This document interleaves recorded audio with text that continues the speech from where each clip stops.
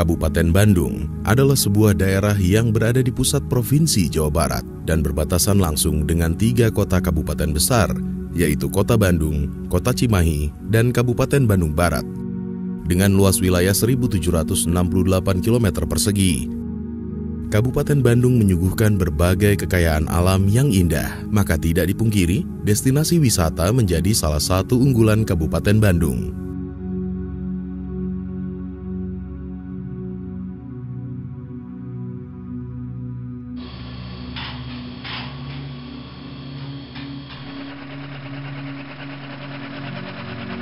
Kabupaten Bandung terdiri dari 31 kecamatan, 270 desa, dan 10 kelurahan.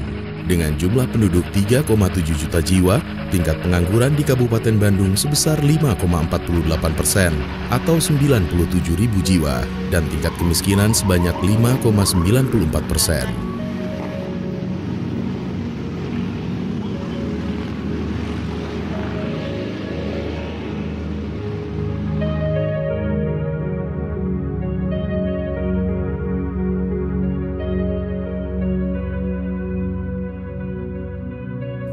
Dengan daerah yang luas dan kelas masyarakat yang beragam, Kabupaten Bandung punya sejumlah masalah pelik. Persoalan lingkungan menjadi salah satu PR besar bagi pemimpin daerah di Kabupaten Bandung. Sungai Citarum, sungai yang panjangnya hampir 300 km ini membentang di Jawa Barat, tak terkecuali di Kabupaten Bandung. Hulu sungainya berada di situ Cisanti, Kabupaten Bandung, lalu mengalir ke utara, melewati lahan pertanian, pemukiman, industri-industri, hingga mengalir ke perkotaan. Pencemaran sungai menjadi masalah besar, belum lagi sampah. Banjir pun masih terjadi dan terus menghantui masyarakat di bantaran sungai.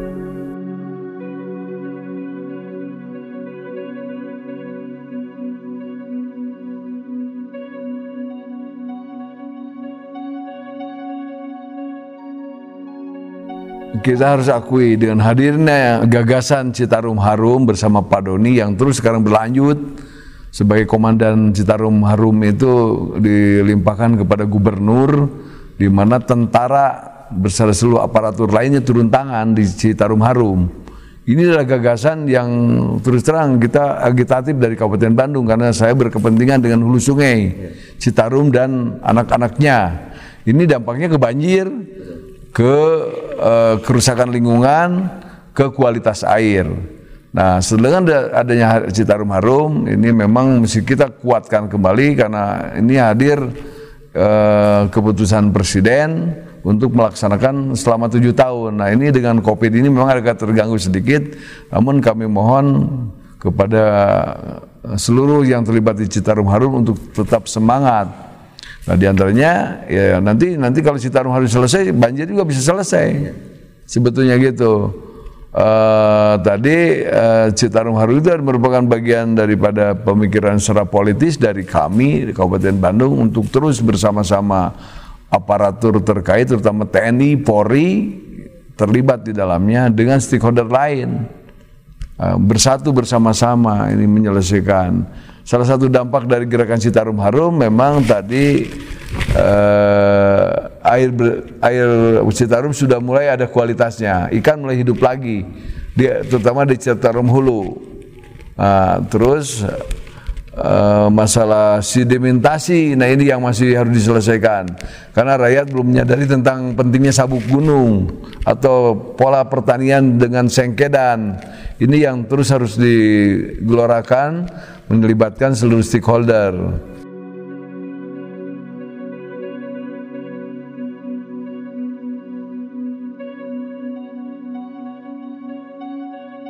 Eh, Bupati Dadang Nasir menjabat belum mampu mengatasi persoalan banjir, belum mampu mengatasi persoalan sampah, ya. belum mampu mengatasi persoalan uh, pencemaran sungai belum juga mampu terkait bagaimana perembahan di wilayah hulu itu tetap terjadi. Yeah. Jadi sampai hari ini kami tidak sama sekali melihat prestasi yang didapatkan oleh bupati yang kami menyadari yang tentunya ya upaya upaya-upaya yang berhasil uh, pasti ada. Tapi kalau berbicara dalam konteks pemulihan dan perbaikan lingkungan uh, sampai hari ini menurut kami uh, Bupati Dadang Nasir itu gagal ya. Sebetulnya upaya-upaya pemerintah ini khususnya di masa kepemimpinan Pak Dadang ini bagus, tapi kalau mengukur uh, uh, keberhasilan uh, kami menilai uh, masih gagal, gagal ya. ya Pak Dadang hmm. uh, Nasir gitu menyikapi terkait uh, kerusakan lingkungan yang ada di Kabupaten ya. Bandung.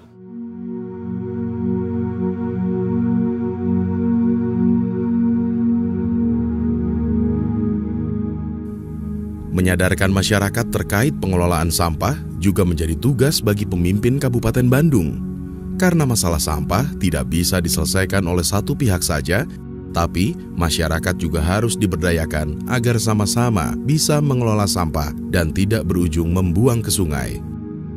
Wahana Lingkungan Hidup, sebuah organisasi non-pemerintah yang fokus terhadap isu lingkungan, bahkan menilai pemerintah Kabupaten Bandung sama sekali belum berhasil mengelola sampah. Beberapa program yang sudah diluncurkan memang bagus, tapi implementasinya nol besar. Tolak ukurnya adalah masyarakat. Hingga sekarang masyarakat masih belum memahami bagaimana mengelola sampah yang baik. Kami juga ya uh, mendengar gitu ya uh, ada tabungan sampah dan lain sebagainya yang itu sangat apresiasi apresiasi gitu ya. Tapi kami melihat implementasinya ini gagal gitu ya. Implementasinya tidak berhasil. Karena apa? Karena bisa diukur pemahaman masyarakat ini tidak begitu utuh dari semua terkait upaya ini hmm. kan gitu. Artinya dalam konteks sosialisasi dan bagaimana me mengajak masyarakat untuk menabung sampah ini betul-betul bisa dipastikan masyarakat benar-benar paham gitu. Paham dulu karena berbicara soal kesadaran itu sangat butuh proses yang panjang gitu ya itu. Nah, yang kedua gini, memang dilematis berbicara uh, soal sampah yang masih juga tinggi gitu ya. Uh, apa namanya nilainya di di persoalan sampah di Kabupaten Bandung. Dilematisnya seperti ini. Masyarakat masih membakar. Kalau enggak membakar, dibuang ke selokan atau enggak ke sungai atau mikrodas atau anak-anak sungai yang bermuara ke Citarum gitu ya, ke das gitu ya tapi kami juga sulit untuk menyalahkan hal itu. Karena apa? Karena solusinya tadi bank sampah gitu ya eh, tabungan sampah ini tidak dipahami oleh masyarakat. Lalu juga ada upaya lain juga tidak dipahami oleh masyarakat. Sehingga bingung masyarakat harus bagaimana. Uh, saya, saya kira uh, faktor yang paling uh, utama ini adalah selain ketegasan itu uh, bahwa semua unsur harus betul-betul memiliki semangat untuk melakukan perubahan. Menuju perubahan ini memang tidak mudah, butuh waktu, butuh proses gitu ya. Tapi setidaknya niat dan keseriusan dari setiap uh, uh, elemen gitu ya untuk mencapai sebuah perubahan. Nah, yang paling berat itu tadi penyadaran tentang penanganan sampah Sampah ditudingkan ke bupati, siapa yang buang sampah? Ini rakyat harus disadarkan. Makanya saya sering sampaikan, loba runtah di mana, di kampung, di kota, loba warga can salah darmi cenduntah sambarangan, balu karena jadi masalah. Nah, maksud saya itu disindir seperti itu supaya ada penyadaran rakyat untuk sama-sama ayo. Sampah itu sebetulnya sumber ekonomi sampah itu sebetulnya sumber organik yang bisa kita daur ulang, kita jadikan pupuk. Namun ini sadar rakyat itu belum menyadari.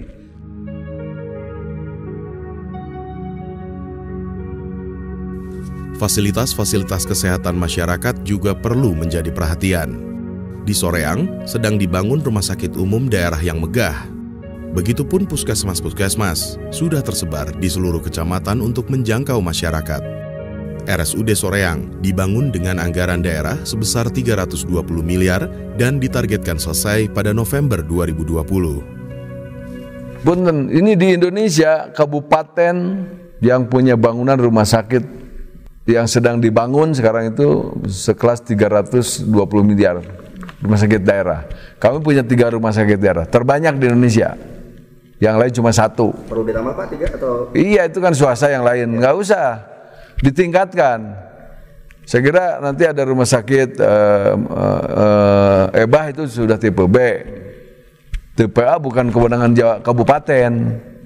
Tipe A itu kewenangan provinsi dan pusat. Tapi kalau tipe B kewenangan, boleh kabupaten meningkatkan. Nah, sore yang akan disiapkan tipe B. Uh, kalau rumah sakit rumah sakit swasta pasti dari bermunculan itu swasta yang punya duit. Ini Pemda APBD murni tanpa campur tangan provinsi dan nasional kita dibangun 320 miliar di hamparan 7 hektar yang ada di Cincin. Nah, di lapangan kita tiap kecamatan ini punten kita terbanyak punya rumah sakit eh, kecamatan puskesmas itu kita 31 kecamatan kita punya 62 puskesmas. Nah, di ke desa Pulendes apa Polindes atau Pustu. RSUD Soreang adalah salah satu dari beberapa pembangunan besar yang ada di Soreang. Kecamatan Soreang bisa dikatakan menjadi jantung dari Kabupaten Bandung. Pembangunan menjamur di sana. Sebut saja Tol Soroja. Tol dalam kota itu menghubungkan kota Bandung ke Kabupaten Bandung dengan gerbang tol utama di Soreang, tepat di seberang kantor pemerintah sebetulnya ya ini debatable boleh, tapi jangan iri kepada Soreang. Soreang itu amanat undang-undang karena ibu kota, maka kami perbaiki ibu kota. Kita juga kalau ingin semua seperti Soreang di tiap-tiap kecamatan ini kita kan bukan negara kaya. Kita bukan negara maju, ya pelan-pelan dari Soreang sekarang di Majalaya juga disiapkan sebagai satelit, nanti Pangalengan. Namun saya perhatikan infrastruktur jalan itu betonisasi sampai ke desa. Tinggal memang di pinggiran-pinggiran masih ada jalan yang aspal tempo dulu sekarang rusak. Nah itu ada kritikan kepada saya sabar karena kami baru tercapai target 82% jalan mantap. Ini bagian kecilnya ada dan pembangunan itu dinamis terutama jalan. Makanya pendekatannya jalan beton sehingga saya disebut-sebut dedang beton itu karena ya itu e, meskipun mahal tapi lamanya kekuatan beton dibanding aspal itu lain.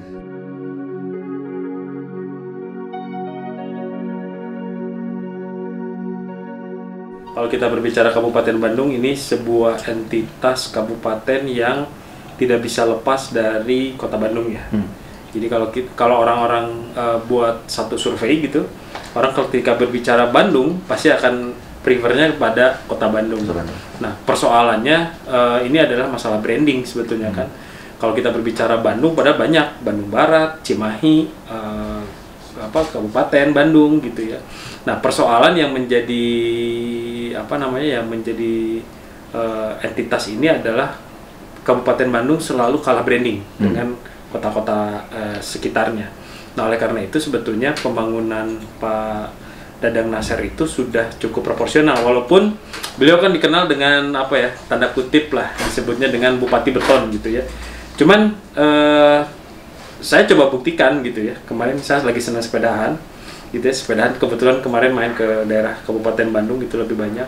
Dan ternyata memang jalan-jalan desa itu sudah dibeton kemudian jalan-jalan itu sudah diaspal dan menurut saya uh, dalam keadaan kondisi Kabupaten Bandung yang uh, dominan banyak desa saya pikir uh, sebutan Bupati Beton itu adalah suatu hal yang positif kalau menurut saya. Bukan suatu hal yang negatif. Karena walau bagaimanapun pembangunan itu tidak bisa berhasil kalau infrastrukturnya tidak kuat. Nah PR berikutnya Kang Fauzi sebetulnya adalah masalah uh, suksesi berikutnya siapa nih yang mengganti.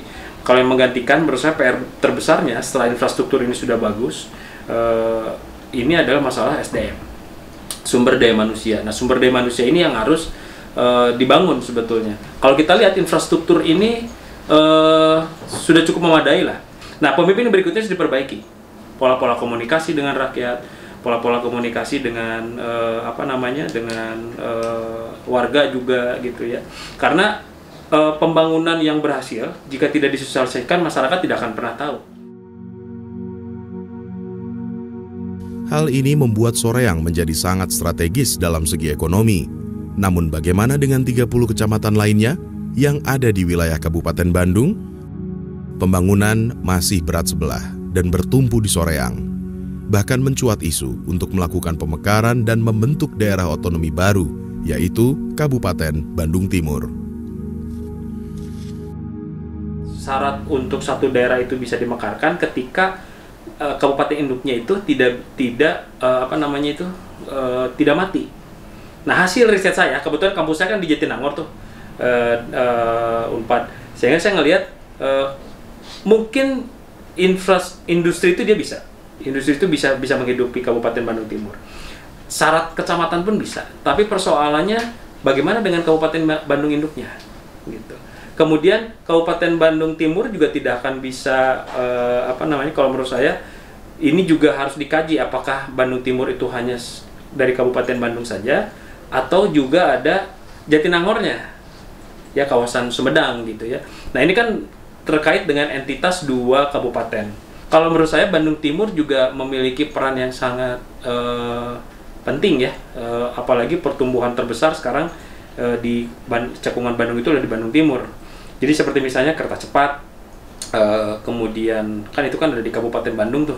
Uh, kemudian juga nanti kalau jadi MRT Bandung Raya ya dan sebagainya, itu juga akan dibangun di situ. Nah, ini harus ada peran-peran uh, penting di situ. Jadi bukan hanya jadi penonton gitu ya masyarakat, tapi juga jadi uh, dia berperan serta aktif juga gitu di Bandung Timur. Karena kalau kita lihat uh, sifatnya sangat elitis. Kalau misalnya satu kabupaten itu uh, apa namanya dimekarkan ya banyak yang menurut saya berhasil gitu ya banyak juga yang uh, sampai saat ini belum belum naik gitu ya uh, pendapatan daerahnya dan sebagainya tidak jauh dari kantor Pemkap Bandung ada Stadion Sijalak Harupat yang merupakan stadion kebanggaan masyarakat Kabupaten Bandung ini tak lama lagi namanya akan mendunia sebab tahun 2021 nanti si Jalak Harupat akan digunakan sebagai salah satu venue Piala Dunia U20. Dengan segala hal yang dimiliki Kabupaten Bandung, alam yang asri, lingkungan yang harus tetap dijaga bersama, hingga potensi ekonomi yang menjanjikan. Sebentar lagi, Kabupaten Bandung akan segera berganti pucuk pimpinan. Pilkada Kabupaten Bandung sudah di depan mata Pilihan ada di tangan Anda. Pemimpin yang bisa menjaga, merawat, dan mengembangkan potensi besar Kabupaten Bandung.